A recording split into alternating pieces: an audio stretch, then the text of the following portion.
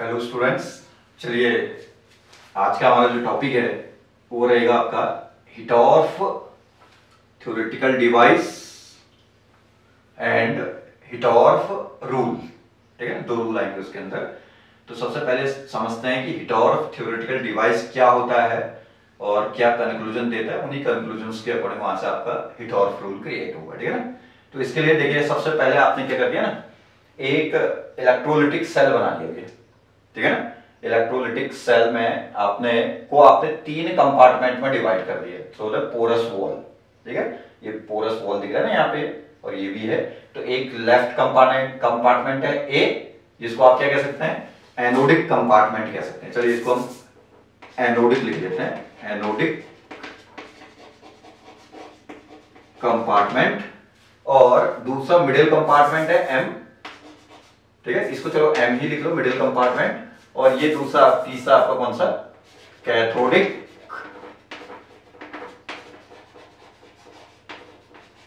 Compartment ठीक है?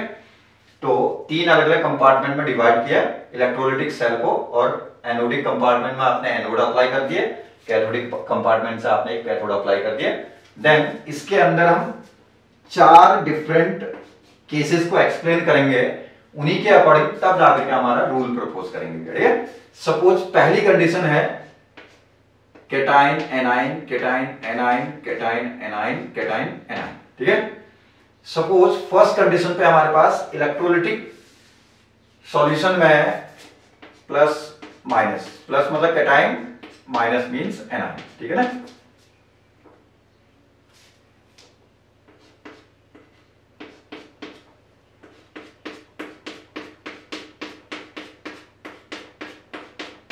ठीक हो गया? सपोज़ इनिशियली हमारे पास क्या था भैया? एनोडिक कंपार्टमेंट में सिक्स मॉलिक्यूल ऑफ़ इलेक्ट्रोलाइट्स थे। मतलब six cation and six anions थे। छह पेयर है ना टोटल और सिक्स पेयर आपके कहा है? कैटाइन एनाइन का कैथोडिक कंपार्टमेंट में है। और मिडिल कंपार्टमेंट में केवल कितना चार पेयर है कैटाइन एनाइंस का, ठीक है? वो कुछ भी कंसिडर कर लें उससे कोई फ़र्क नहीं पड़ेगा। देन इस कंडीशन पे सपोज़ आपका कोई भी कैटाइन आपका एक पर्टिकुलर टाइम इंटरवल में, एक सर्टेन टाइम इंटरवल उसके लिए हम रखेंगे, एक सर्टेन या यूनिट टाइम इंटरवल में सपोज़ कोई भी कैटाइन कहाँ से एनोडिक कंपार्टमेंट से कैथोडिक कंपार्टमेंट की ओर को, क्योंकि कैटाइन होगा तो कहाँ जाएगा नेगेटिव इलेक्ट्रोड अपनी ओर को अट्रैक्ट करेगा, वहाँ को मूव करेगा, ठीक है? और एनाइन यहाँ मूव करेगा एनोड की ओर को, ठीक है? तो यूनिट टाइम इंटरवल में सपोज़ कोई भी कैटाइन एनोडिक कंपार्टमेंट से कैथोडिक कंपार्टमेंट की ओर को, या कोई भी एनाइन एंड कैथोडिक कंपार्टमेंट से एनोडिक कंपार्टमेंट की ओर को मूवमेंट नहीं कर रहा है। सपोज़ ठीक है? तो इस समय एनोडिक कंपार्टमेंट के इलेक्ट्रोलिटिक सॉल्यूशन में आपका इलेक्ट्रोलाइट कंसंट्रेशन में कोई फॉल हो रहा है? नहीं होगा कोई भी मूवमेंट नहीं हो रहा है तो कोई कोई चेंजेस नहीं आएगा जितना कंसंट्रेशन एनोडिक कंपार्टमेंट का बना था स्टार्टिंग में लिया हुआ था, उतना ही बने रहेगा। इसका भी अपनी जगह बने रहेगा मिडिल कंपार्टमेंट भी अपनी जगह बने रहेगा पहली सिचुएशन तो ये हो गया नील कंडीशन है। दूसरी कंडीशन हमने माना कि भैया दो कैटाइन दो कैटाइन केवल, ठीक है? यूनिट टाइम इंटरवल में केवल दो कैटाइन यहाँ से वहाँ मूव किए, वहाँ से कोई भी एनाइन आपका यहाँ मूव नहीं किया यूनिट टाइम इंटरवल में, ठीक है? तो आपका यहाँ से दो कैटाइन वहाँ मूव करेगा तो ये बनेगी सिचुएशन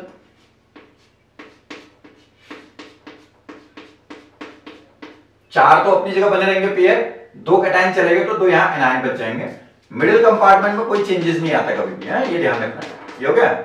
और यहाँ के सिक्स पेयर तो अपनी जगह बने रहेंगे क्योंकि यहाँ से कोई भी आयन मूवमेंट नहीं कर रहा है। ये हो गया? और दो कैटाइन जो वहाँ से इधर मूव किया हुआ है, वो ये। ये यहाँ से कैटाइन वहाँ गए तो। छह अपनी जगह बने हुए हैं सिक्स पेयर दो इधर से मूव किए वाले, ये दो कैटाइन तो यहाँ से दो मूव किए तो यहाँ पर भी दो एनाइन बच जाएगा ना?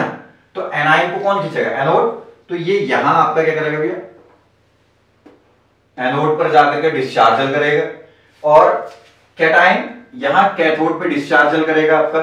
तो इसका मतलब यदि आपका एनोडिक कंपार्टमेंट से दो कैटाइन आपका कैथोडिक कंपार्टमेंट की ओर को मूवमेंट कर रहा है, और सेम टाइम इंटरवल में कोई भी क्या है एनाइन आपका कैथोडिक कंपार्टमेंट से एनोडिक कंपार्टमेंट की ओर को मूव नहीं कर रहा है, ठीक है?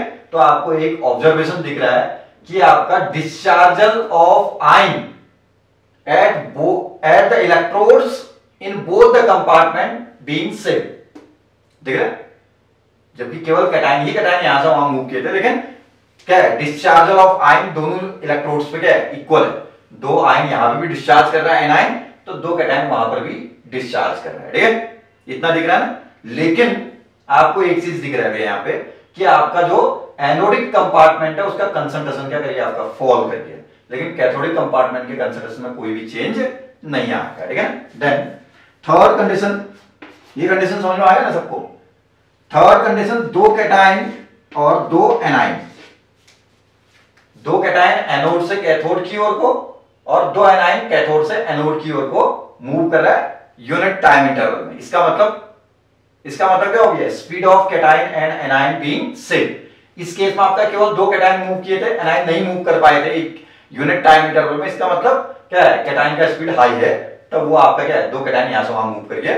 उसी टाइम इंटरवल में एनाइन की स्पीड बहुत स्लो होगी तो वो आपका यहाँ से यहाँ मूव नहीं कर पाया, ठीक है? तो यहाँ पे हम कहेंगे दो कैटाइन दो एनाइन मूव कर रहे हैं, यहाँ से वहाँ और दो एनाइन वहाँ से यहाँ। इसका मतलब कैटाइन और एनाइन बोथ आयंस का अपोजिट चार्ज आयन का स्पीड क्या है? अपोजिट इलेक्ट्रोड को मूव मूव करने का जो स्पीड है वो इक्वल है, ठीक है? तो यहाँ से सिचुएशन क्या बनेगा देखिए, ये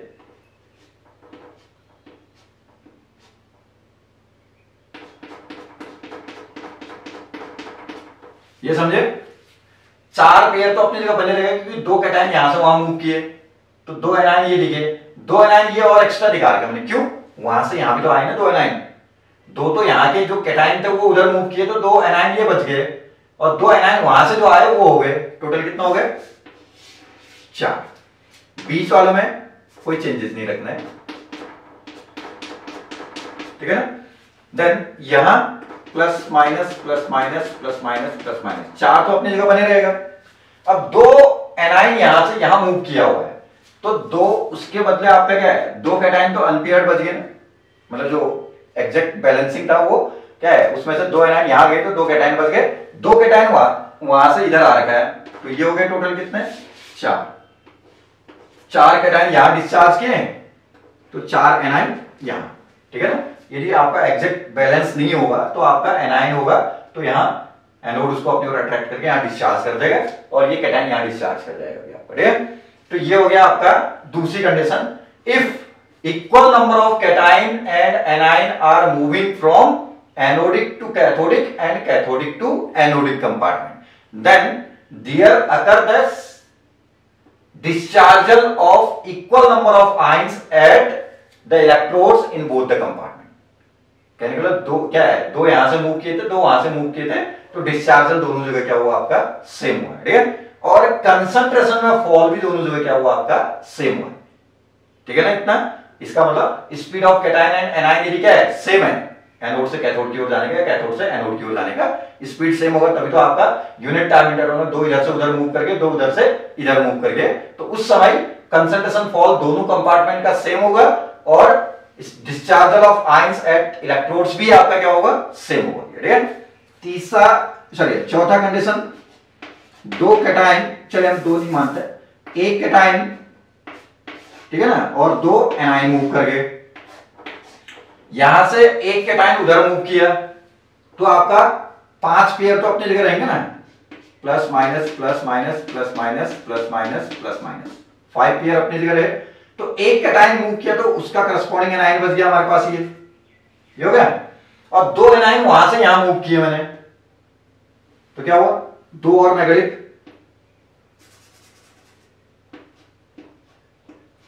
ये हो गया? तो तीन यहाँ बच गया एनाइन ये है मिडिल कंपार्टमेंट में फर्दर कोई चेंज नहीं आएगा। ये और यहाँ से दो एनाइन मूव किए तो यहाँ दो कैटाइन बचे। दो एनाइन पेयर के दो एनाइन चले गए तो आपके दो कैटाइन बच गए। सिक्स में से चार पेयर बचे रहे, दो एनाइन चले गए तो दो कैटाइन एक कैटाइन यहाँ से वहाँ गया हुआ है। तो ये हुआ। तो यहाँ तीन कैटाइन बचे तो वो डिस्चार्ज करेंगे कैथोड पे। यहाँ तीन एनाइन डिस्चार्ज करेंगे कहाँ पे? एनोड ठीक है? तो यहाँ, ये कौन सी सिचुएशन है? Speed of ions is unequal speed of ions is unequal. Means, एक का आपका क्या है? एक ही आयन मूव कर रहा है कैटाइन और उसी टाइम इंटरवल में दो एनाइन मूव कर रहे हैं। इसका मतलब एनाइन की स्पीड ज़्यादा कैटाइन की स्पीड कम है। ये केस था सेम स्पीड था। दो कैटाइन यहाँ से आ गए तो दो एनाइन यहाँ से आ गए यूनिट टाइम इंटरवल में। ये क्या था? कैटाइन मूव कर रहा है एनाइन नहीं कर रहा है उसका मतलब उसकी स्पीड ज़ीरो है। कैटाइन की स्पीड क्या है? एक सिग्निफिकेंट जो भी होगा। ठीक है? ऊपर वाले में दोनों की स्पीड ज़ीरो है मतलब दोनों में से कोई भी आयन मूव नहीं किया तो हम हर टाइप की कंडीशंस को क्रिएट किए इस डायग्राम के अंदर भी आप तो इस चार केसेस के एक्सपेरिमेंट को हिटोर थ्योरेटिकल डिवाइस का एक्सपेरिमेंट कहते हैं। और इन एक्सपेरिमेंट से क्या कंक्लूजन आपको दिख रहा है, उस पार्ट पे आते हैं है? तो ये कहता है कि आपका रूल नंबर वन बिल्कुल रूल को कोई रटना नहीं है, जो दिख रहा है वही बोलना है, ठीक है ना? देखिए, पहला रूल कहता है whatever be the number of ions moving from anodic to cathodic और cathodic to anodic compartment in the unit time interval एक सर्टेन टाइम इंटरवल या यूनिट टाइम इंटरवल में एनोड से कैथोड की ओर जाने वाले कैटाइन का नंबर या कैथोड से एनाइन की एनोड की ओर को जाने वाले एनाइन का नंबर कुछ भी हो। जैसे एक बार केवल दो ही आयन मूव कर रहे थे। एक बार यहाँ से दो, वहाँ से भी दो मूव किए थे। एक बार यहाँ से एक ही मूव कर रहे हैं, वहाँ से दो मूव कर रहे हैं। अलग अलग सिचुएशन है ना? तो ये कहते हैं कि आपका एनोड से कैथोड की ओर या कैथोड से एनोड की ओर मूव करने वालों आयन का नंबर इक्वल हो अनइक्वल हो, या एक ही साइड से आयन मूव कर रहे हो, ठीक है ना? कुछ भी हो। लेकिन डिस्चार्जर ऑफ़ आयंस एट बो sorry at the electrodes in both the compartment will be always same ठीक है? सेंटेंस को समझिएगा रूल को समझिएगा। Whatever be the number of ion moving from anode to cathode sorry anodic to cathodic और cathodic to anodic compartment always number of ion discharging at the electrode in both the compartment will be always same दो यहाँ क्या है? Discharge किए तो दो वहाँ भी किए। चार यहाँ किए तो चार वहाँ भी किए। तीन किए तो यहाँ भी तीन ही किए। डिस्चार्ज होने वाला आयंस का जो नंबर होगा इलेक्ट्रोड पे, वो सेम होगा। भले यहाँ से आयन दो गए, यहाँ से एक ही गया, या दोनों साइड से बराबर आयन मूव किए, या एक ही साइड से मूव किए, दूसरी साइड से मूवमेंट नहीं हुआ, कुछ भी हो, लेकिन discharge of ion at the electrodes in both the compartment will be always same ये फ़र्स्ट स्टेटमेंट है आपका पहला रूल भी है ठीक है? रूल नंबर सेकंड दूसरा रूल क्या कहता है, देखिए? देखिए, इस कंडीशन में सेकंड वाली कंडीशन देखो, केवल दो कैटाइन मूव किए थे यूनिट टाइम इंटरवल में एनाइन नहीं मूव किया हुआ, ठीक है? तो केवल दो कैटाइन मूव किए तो डिस्चार्जर तो आपका इक्वल ही है, लेकिन कंसंट्रेशन फॉल आपका यहाँ दो इलेक्ट्रोलाइट कम हो गए एक तरह से सॉल्यूशन से।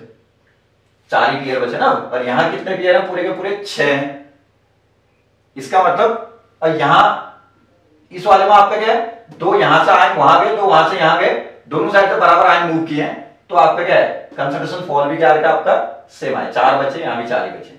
यहाँ अनइक्वल था तो अनइक्वल बचा हुआ है, ठीक है? तो इससे कंक्लूजन आता है कि आपका किसी भी कंपार्टमेंट से अपोजिट कंपार्टमेंट की ओर को मूव करने वाले आयंस की स्पीड जितनी ज़्यादा होगी, उस पर्टिकुलर कंपार्टमेंट में कंसंट्रेशन फॉल भी उतना ही ज़्यादा ठीक है? जैसे यहाँ इस वाले कंडीशन को समझो, तीसरे वाले से ज़्यादा क्लियर समझ में आएगा। यहाँ से एक ही आयन मूव किया था यूनिट टाइम इंटरवल में। वहाँ से यूनिट टाइम इंटरवल में दो एनाइन मूव किए थे। इसका मतलब एनाइन की स्पीड ज़्यादा है। एक सर्टेन टाइम इंटरवल में दो एनाइन इधर को मूव कर जा रहे हैं, लेकिन एक ही कैटाइन वहाँ मूव कर पा रहे हैं यहाँ से। ठीक है? इसका मतलब एनाइन की स्पीड ज़्यादा है तो कैथोडिक कंपार्टमेंट में कंसंट्रेशन फॉल भी तो ज़्यादा आ रहा है। दो इलेक्ट्रोलाइट कम हो गए तो चार ही तो बचे ना पेयर और कैटाइन एक ही मूव कर पा रहा था उसी टाइम पीरियड में तो आपका इसका मतलब कैटाइन की स्पीड कम है। तो इसका मतलब यहाँ कंसंट्रेशन फॉल भी आपका क्या है? कम है। पाँच बचे हैं, एक ही मूव किया था तो एक इलेक्ट्रोलाइट कंसंट्रेशन क्या हो गया आपका? कम हो गया तो ये कहते हैं कि आपका किसी भी कंपार्टमेंट से अपोजिट कंपार्टमेंट की ओर को मूव करने वाले आयन की स्पीड जितनी ज़्यादा, उस पर्टिकुलर कंपार्टमेंट में कंसंट्रेशन फॉल भी उतना ही ज़्यादा। तो यहाँ से आपका एक स्टेटमेंट बनेगा। ये आपका एक फॉर्मूला बना सकते हैं। decrease in the concentration of anodic compartment is proportional to speed of cation moving from anodic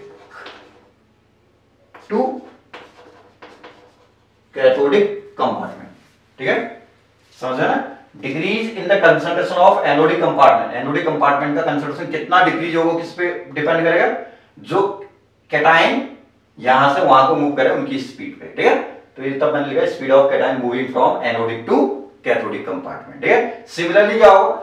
Decrease in concentration of cathodic compartment किसके प्रोपोर्शनल होगा?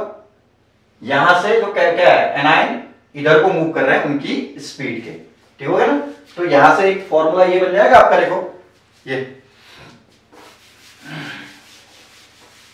ये हो गया decrease in concentration of anodic